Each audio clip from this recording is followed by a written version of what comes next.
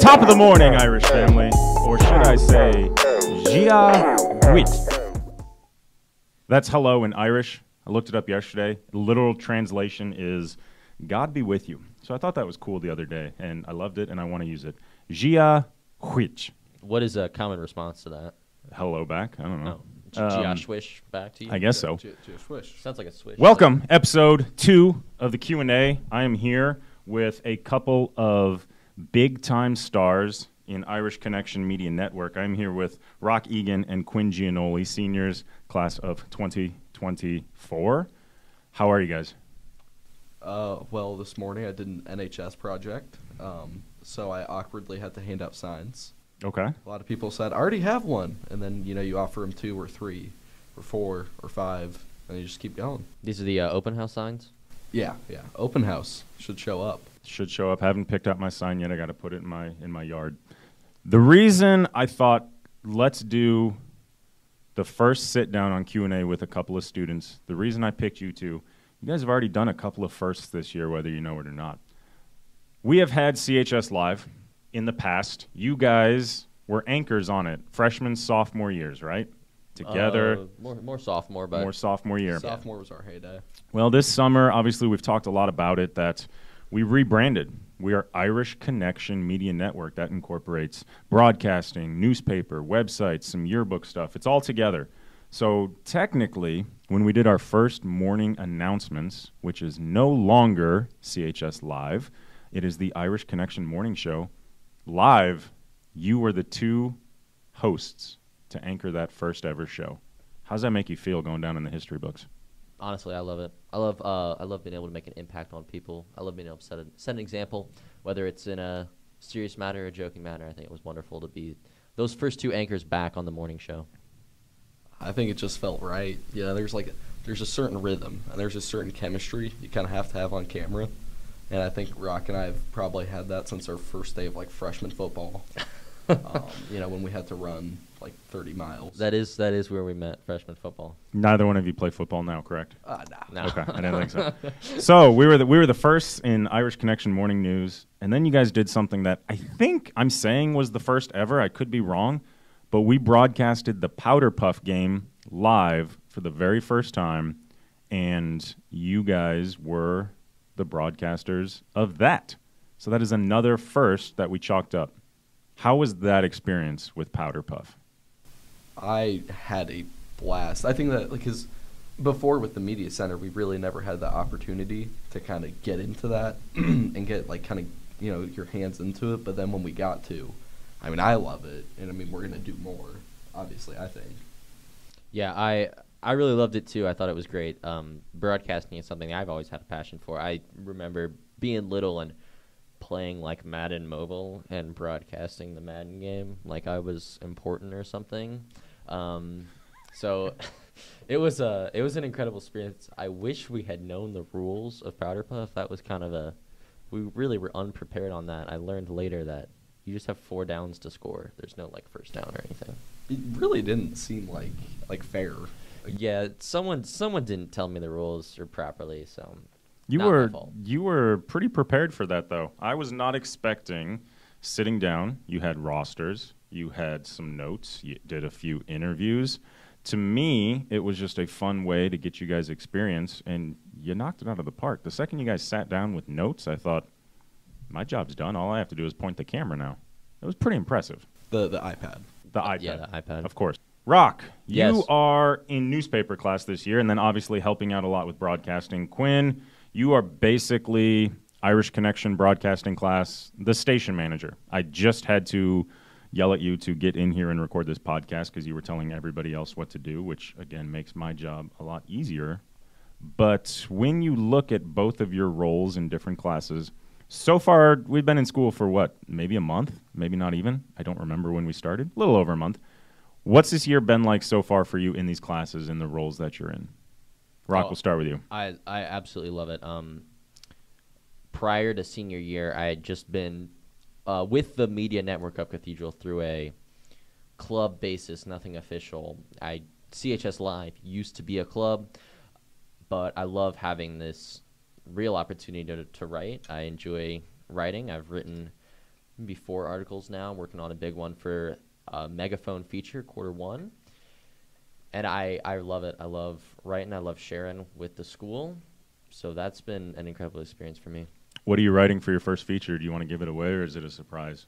I think a lot of people already know it because I'm really excited about it. We are talking about the three stooges of the religion hallway. This is Mr. Canaday, Mr. Jamel, and Mr. Strife. They they're just causing a bunch of riffraff this year and last year. I think it's it's gonna be a lot to unpack. We'll see how that goes. That that'll be exciting. Quinn, how's the year been going going for you? Like I said, station manager, barking out orders, having making sure everybody's going in the right spots, getting everything you need to it's a lot of work to basically make a minute and a half news package and the amount that goes into it. So so how's the year been for you so far? Um, honestly, I think this has been a phenomenal start. Um, we don't. I think I'm the only one that's taken broadcasting before, or that's really even like pointed a camera. I think so. So, um, you know, the more and more we get comfortable with the cameras, and we're realizing, oh, this is how you do it, um, and all these steps, and people are like all stepping up, like Johnny Lehman, um, Owen Bumbrot, like they're all stepping up in a great way. Caroline Grant is trying out recording for the first time. Everybody's like stepping up, so we're kind of starting slow, but then I'm hoping we're gonna start like picking up, and then we're gonna have like four videos produced a week. Um, so I think it's been like a bit shaky, but I think you need to like rock the boat to steady it, basically. Yeah, absolutely. I think the shakier it is at the beginning, the better it is. Smooth sailing. Let's try to throw as many Yeah. boat cliches out as we can.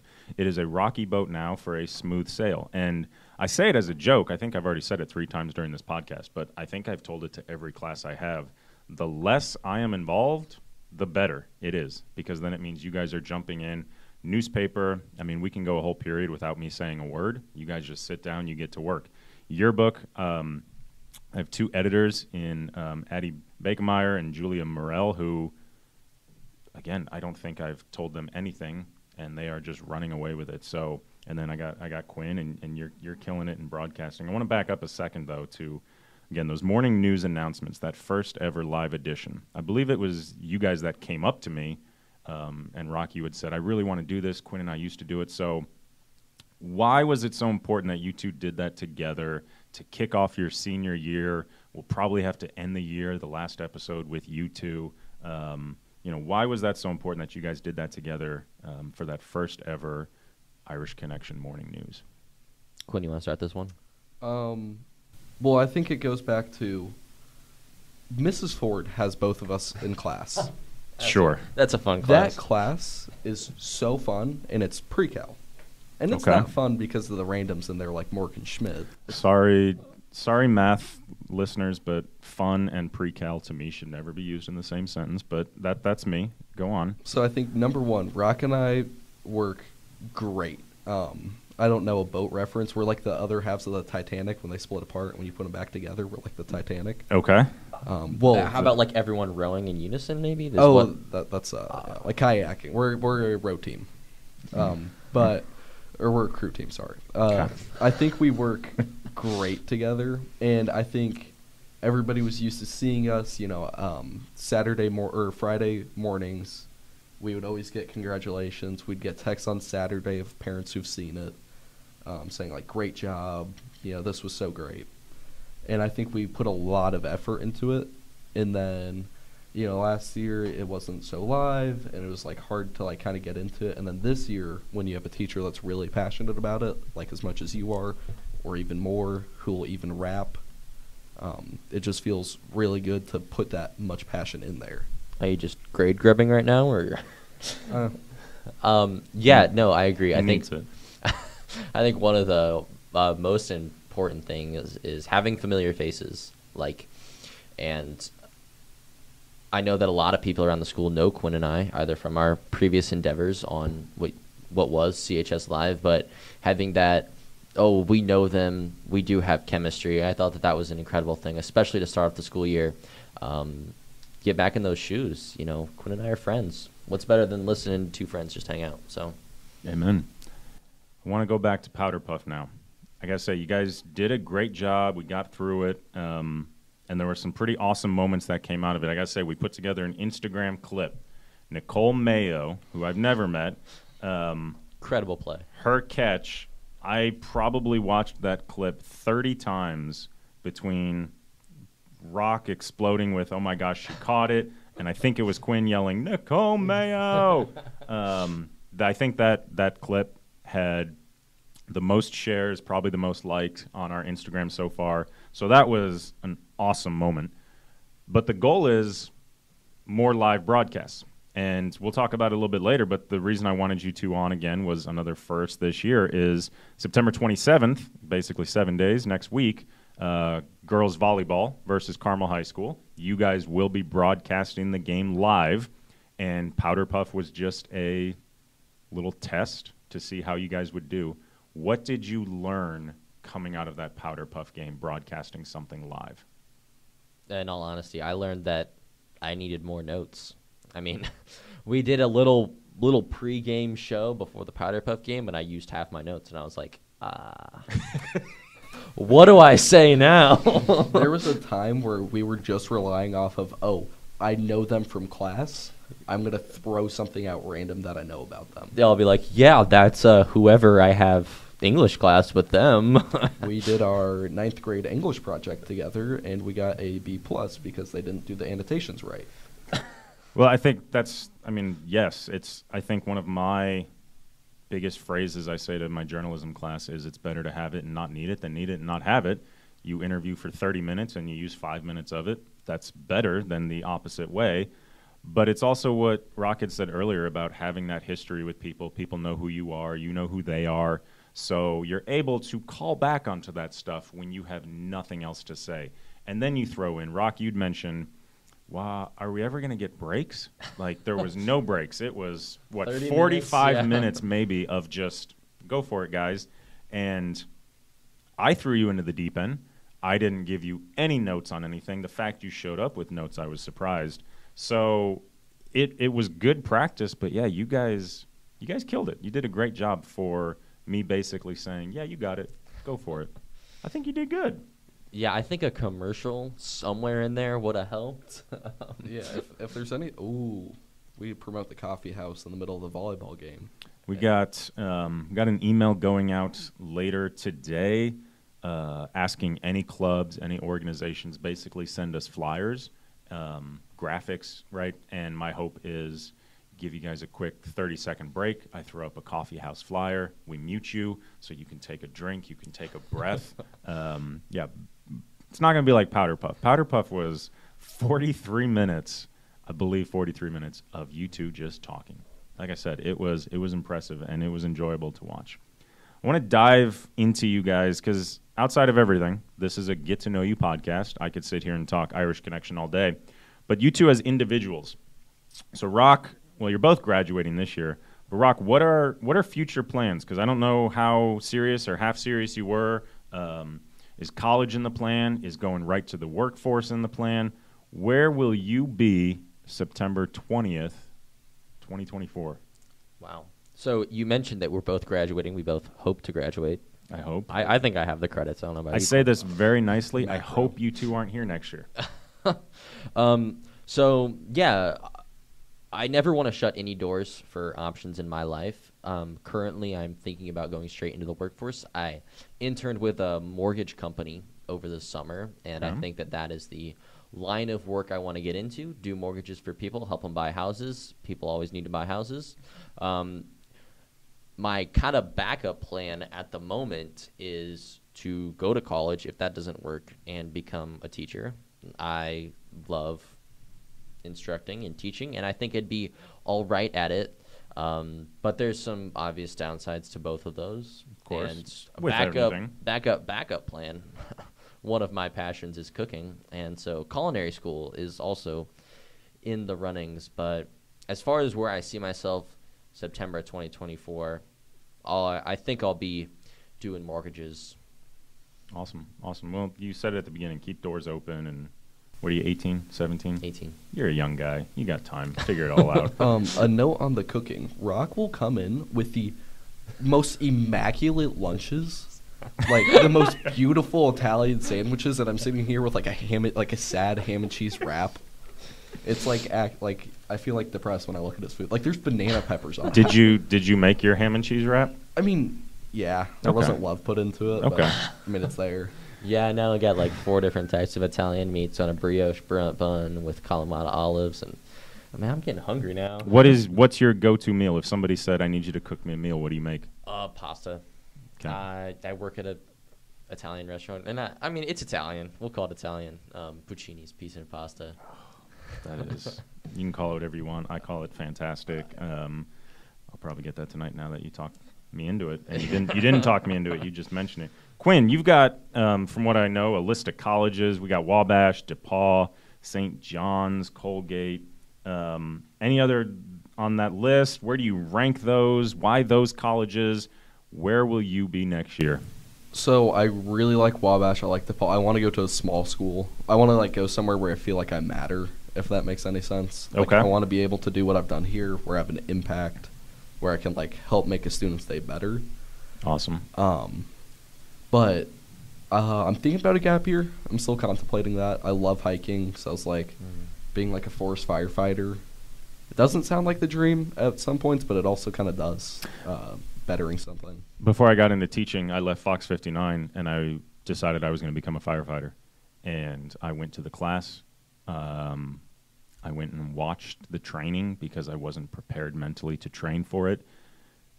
And then I never went back when I saw the things that they had to do, and I had to realize how claustrophobic I am and how much of a fear I have of everything. So that's pretty awesome. That would be a cool gap year. Yeah, and that'd be a great thing to like brag about. It would. I just went straight here. I was like, oh yeah, I was in like Syria, like I was in Nevada, just putting out forest Yeah, fires. sorry, I'm late, guys. I was a little busy over the past year. great great documentary on CBS. It's called Fire Country, and I'm only kidding. It's not a documentary. It's a TV show, but it's really really good. The character, main character of that show, his name is Bodie. I saw that and I said, "That's my son's name." A few months later, my son was born. His name is Bodie. Fun fact. You both kind of mentioned when you leave because I asked you to. When it's all said and done, and Quinn, you kind of mentioned helping somebody if you're remembered. Jim Irsay, I think, said it horribly the other day, a couple weeks ago, about Jonathan Taylor. He said, When I'm dead and Jonathan Taylor's gone, nobody will remember who we are. Just a great outlook on life, Mr. Irsay. Yeah, but you when you guys are out of here in what, like eight short months, what would you want to be remembered for at your time for your time at Cathedral? Um, I want to be the guy who. Wait, why isn't he opening up the assembly anymore? Like, I, want people to like miss me. Like, oh my gosh, he was so great.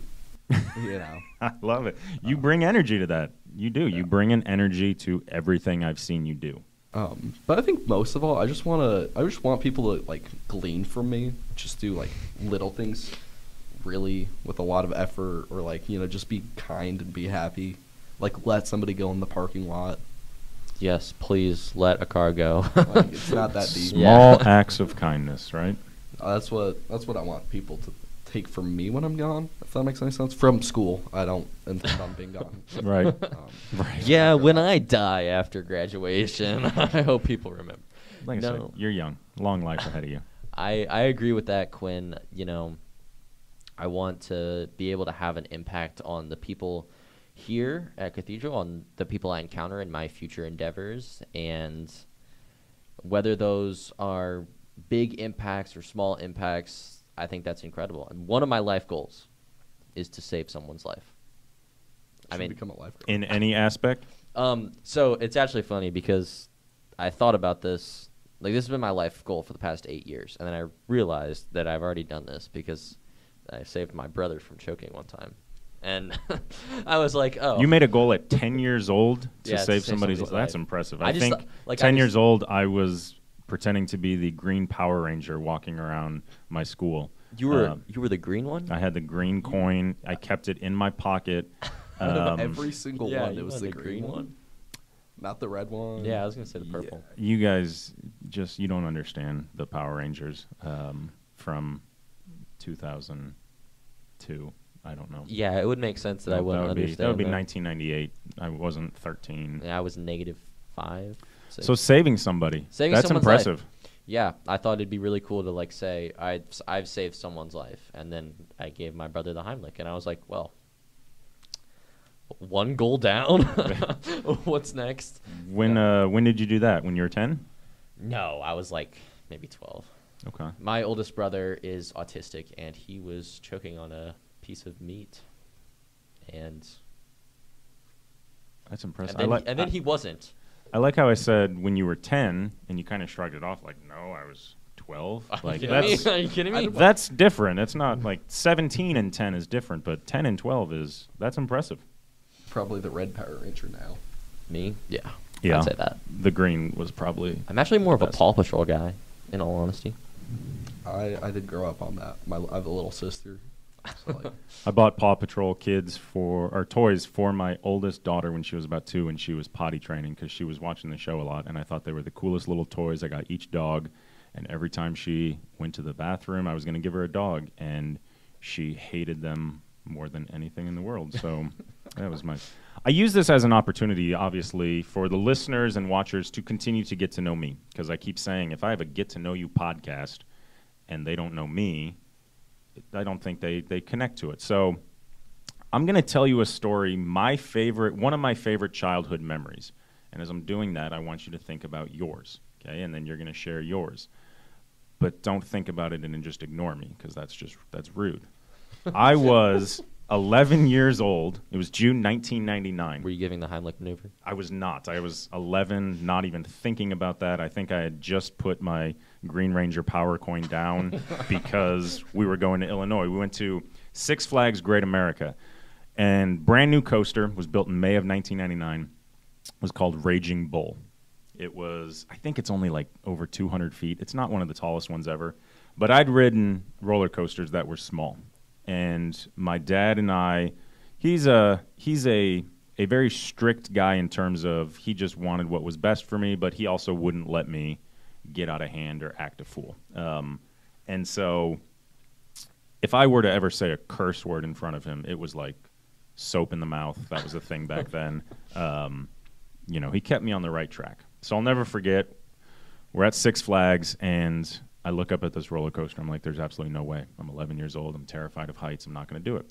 And my dad, he kind of convinced me to get on, and so I'm sitting there on the very end. My dad's in the middle, and then my oldest brother, Michael, and I'm 11. And my dad looks at me, and he could tell I was scared, and he said, "If you have to say a curse word, I will be okay with it." and I'm like, "This is not okay. He's gonna." So we're going up the hill, and I said it, it was at that time taller than anything I'd ever been on. And the point where you get over the hill and you're not yet falling, but you can see this is going to be terrifying. Before the drop, even, I scream at the top of my lungs, "Oh!" and I let it out. and then we go, and I'm screaming. I don't, I don't curse again, but I'm, I'm saying all the other scream words, yeah, and you know whatever. And then we we pull into the station at the end. My dad looks at me. He's like, "Are you okay?" And I said, "Yeah, that was fun." And he looks at me really sternly and he says, "I heard what you said." And I was terrified for a second. and he like hit my leg and he was like, "I'm just kidding. That was that was funny." And in that moment, I kind of realized like, all right, he's a strict guy and he keeps me in line. But that was a really cool moment um, for me to just kind of like one of the first times I remember seeing my dad as like a friend and a, and a buddy and a jokester. And, and so that that's one of my absolute favorite moments. So hopefully you heard it. You didn't ignore me. What is yours? Who wants to go first? Can you say that again? No. The whole story. I was 11 years old. I'll I'll take this one. Um, first off, you didn't just like let the curse words rip the entire one. Like you said, I can say them the whole time, Dad. Check this out. That's how terrified I was to even let this one slip out. Um, so growing up, we traveled a ton. Um, I played chess. I'm a nerd. And my older brother Max also played chess way better than I did.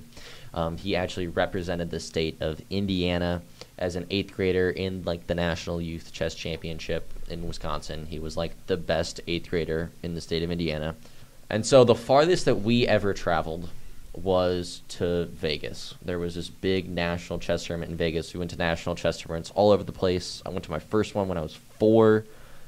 I don't even know why. Dad took me to a chess tournament when I was four in Dallas, Texas. Um, it was a long drive. Got tons of driving time. Got lots of miles on that on that suburban.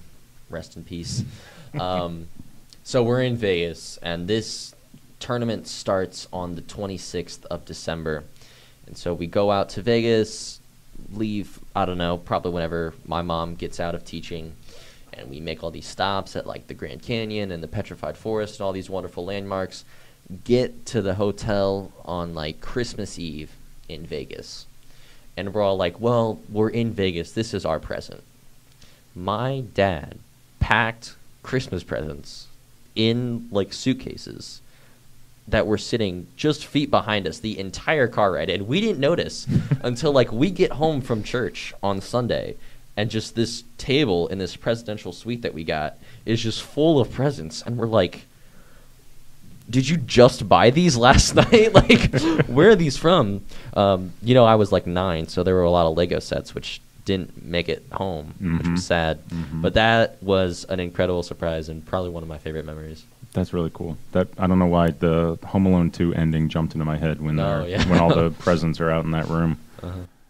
Quinn, Um, so mine was actually like pretty recent. Um, so this past summer, I family in Minnesota. yeah Like we seven- still are children just so you Of course. I, mean, I know. You're, well, you're 18. I'm I am, I'm an adult I'm 35, still a child. Um, so I don't know how many people know this. When you get to Minnesota, that entire like arc over the Great Lakes, it's just all state parks. Like it's barely even like that, uh, except for like the loop. There's nothing huge there. Okay. Like I'm talking, it looks like a 1950s movie. Sure. Um, so there's two spots that I have like specific memories of. Like my dad is like the best. I was like, oh, there's a national mon- monument right there. We're going probably like 60 on a state highway. He slams on his brakes, gets on the shoulder. He's like, we're going. I was like, are you? Do you have like severe AD? Like, are you a child? He's like, I see the ocean. We're going. I was like, yeah, that's a great lake. but yeah, you're doing your best. Um, so I actually ended up swimming um, in Lake Superior. Um, it was a solid, I think, 40 degrees. Uh, that sucked. Um, but it was like awesome just like being with my dad and having that experience. And then we go further up and we hit Gooseberry Falls. Gorgeous. Um, I don't know how to put it. It's like a bunch of waterfalls that Okay. just keep going. Like it shouldn't be a state park. It's really like if you're ever going to be in the northeast side of Minnesota, It's like a TLC, don't go chasing waterfalls. Yeah. Yeah. Do you know that reference, or am I too old for that? uh, you're old. Okay. Yeah, very- Fair enough. old. i'm just laughing to make you feel good I right now. appreciate you guys. I'm Since- sorry. yeah, no, it's okay. Um, but we so there's a sign that says no swimming. I had no clue, but my dad is a wimp. Um, I'm sorry, Dad, if you're listening to this, but he's a bit of a wimp. Um, and there's this cliff, and I was just like, Dad, I'm gonna jump off it. He's like, What? I was like, There's water, and I'm, so I'm a lifeguard. I'm really good with water, uh, open water certified, whatever. So I'm like, I know it's deep enough. Some dude that looks like a hippie with the smallest calves I've ever seen Okay, that's Told- important. told me, "Hey, it's too shallow there." I'm like, "No, you're wrong." I mean, he, don't trust anybody with small calves. Okay. Um, that's just a rule of thumb. Uh, my next question is life advice, but you got that out of the way, so go ahead. Um, so I ended up jumping off. My other brother went and jumped off, and we were completely fine. But my dad was like, "You guys are idiots," and he was, I was like, "Are you gonna do it?" He's like, "No," but it was really fun watching you guys, and like I love being with you guys. This is so awesome. And he's always kind of like stoic, think things through. Um, very Italian family, so think like an Italian father, not Mhm. Tony Soprano. It's not that bad, but um, it was just awesome getting to see like. It's nice now when you see people being more human Mm-hmm. instead of being authority figures as you get older. Mhm. Yes. it's certainly a change to go from like oh you're just my dad to now oh like we actually just hang out together we're homies. like It's yeah. a it's a cool transition. my dad never dapped me up though i'm waiting for the day that he would like dap me up He, my dad tries. That's really sweet. I saw a talk show host do this once, and it was with a famous news anchor, and it was about television journalists and how no matter how ridiculous the story is, it is important to relay that information with professionalism, with a seriousness. And I thought that is no better test right now for you two, really for the three of us, um, is to do this. Did this you, was Did you say seriousness? a seriousness. I would call I- it Kronos. I did. A gravitas, which actually means seriousness, I believe. So we're going to put up some ridiculous news headlines. We're going to look into the cameras, and we have to read them with a seriousness behind our tone. Can't smile, can't laugh. I'll tell you, I worked at Fox 59, and some of the stories that went through that in the back, the behind the scenes, editor or directors, producers are all talking on the microphones of how is Scott saying this? How is Jenny saying this? Because the things that happen in our world can be a little ridiculous. So here's the test. It's you guys got your prompter there. I got the computer. We're gonna look into the camera. You're gonna read it, and you got to do it with a straight face, no smiling, no laughing. Um, and for those that are just watching and listening, this isn't a competition. Okay, it's not a competition, It- but it is. It is. please feel free to email me who you believe the winner was. So So it is a competition. I'm gonna I'm gonna go first. And now that this is actually live, I know what they are. These two have no idea what they have to say. You have a little advantage here. A hundred percent an advantage. we're, we're not up on our screen here. It's okay. I was gonna say, well, what am I supposed to read there? Nothing yet. All right, let's figure this out. Where am I? You're over, up, right there. I just spilled water on myself. Right there. There we go. So you guys see your screen, I see mine. All right. If you have ever sat down on something wet and you are not entirely sure how it got that way, we have a very chilling report coming up. I have a notoriously bad poker face. All right. So there's mine. So, Roch, you're going to be up first with your first, and and uh, freely take a minute, read it over to yourself, get a giggle out, and then you can let it go. 13 monkeys escaped from the zoo and broke into 81 year old Wilna Jean's house. After shaving her head, they got to know each other with tea and banana pudding. That's impressive. That's an impressive one. Oh, wait. Okay. Wow. Tonight, a shocking reveal. In the case of Scott and the 15 foot coyote that wanted nothing more than a head scratch and a peanut butter cup. Later tonight. All right, I got the right guys here. That's so funny. Thank goodness that seconds before destruction, the Kona ice worker was able to save the llama from falling into a frozen pit of tiger's blood snow cones. Coming up at 11. I actually don't really like Kona Ice. I'm a big fan of Kona ice. Really? It's just ice. Big E, Dope, Lil Fresh Time, and Mother, How's It Be were dropping mad beats at the house party before tragedy struck. Oh, Mr. Q is a rapper himself. that was impressive. I told you earlier I, there was one I couldn't get through without smiling, and that was it. Mother, how's it be is my Yeah. favorite part.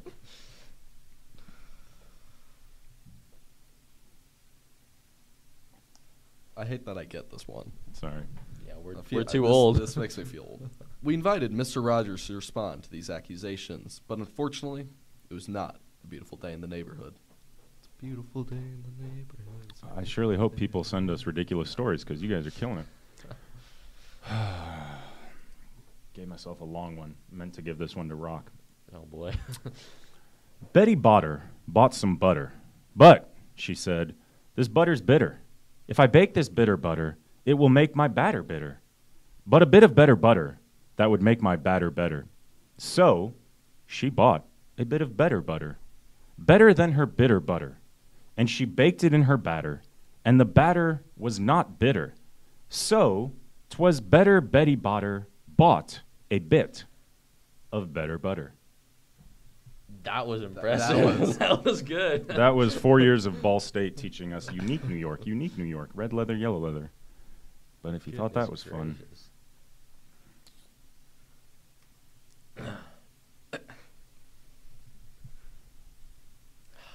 just so you know, this is part one, and Quinn will finish with part two. Oh my gosh. What? I am horrible at these. A tree toad loved a she toad, who lived up in a tree. He was a two toed tree toad, but a three toed toad was she. The two toed tree toad tied, tried to win the three toed she toad's heart. For the two-toed tree toad loved the ground that the tr- the three-toed tree toad trod, but the two-toed tree toad tried in vain. He couldn't please her whim. From her tree toad bower, with her three-toed power, the she toad vetoed him. Why did why is that a thing? That's that doesn't make sense. That's a thing. That's a thing. We're gonna get interrupted by the bell real quick.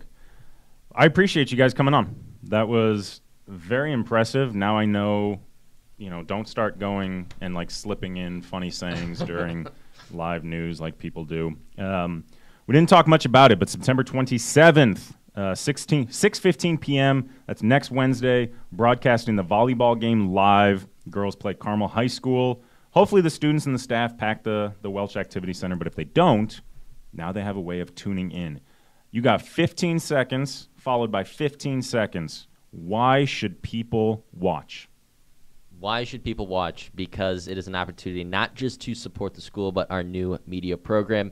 This is something that we need all the support we can get. So tune in. Quinn and I are going to do an incredible job. Our volley volleyball team, sorry, the toad thing got me mixed up, is insane.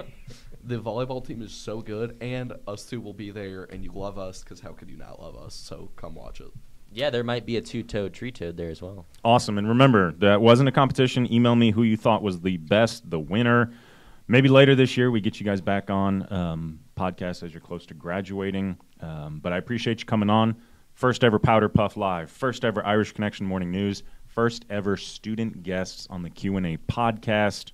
Um, boy, this is embarrassing. I don't know how to say goodbye in Irish or Irish. So don't they speak Does it- English in Ireland? Yeah, I thought they did.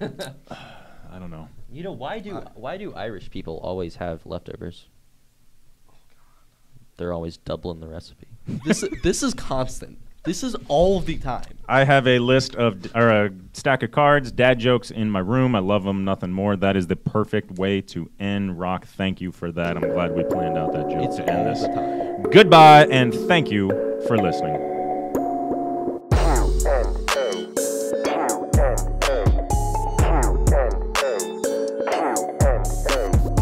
Irish Connection Q&A. A different guest, different story every day. Coming at you from the unified media, adding stories to the encyclopedia. Have you ever done anything incredible? Got a recipe that's delicious and edible? Want to talk about diversity and unity? Come and tell it to the cathedral community. Train all year for a 5K race? Show a horse and take first place? Q and a coach, Q and a teacher, Q and a priest or a sister or a preacher. Students and teachers, but there's so much more to that. We got musicians, robotics, a quarterback. Did you teach someone? Did you learn a lesson? Senior, junior, sophomore, freshman. This theme has lost all sanity. Let's meet a member of the Irish family. I've got nothing else to say, so let's just start.